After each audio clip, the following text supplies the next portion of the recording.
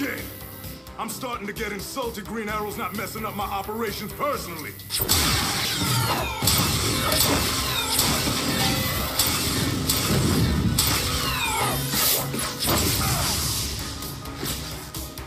Do you know what I pay for a suit in my size? Scorch the earth, boys.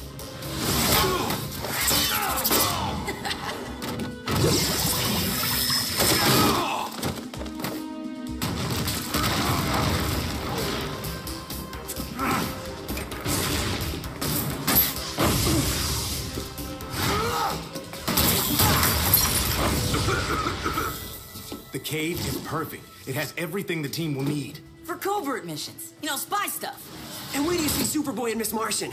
But I saw her first.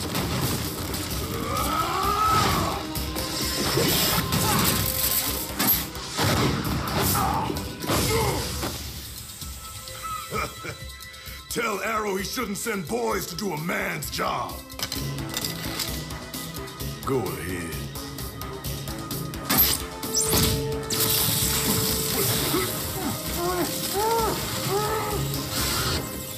High density polyurethane foam. Nice.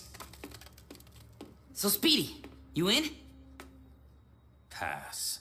I'm done letting Arrow in the league tell me what to do. I don't need a babysitter or a clubhouse hangout with the other kids.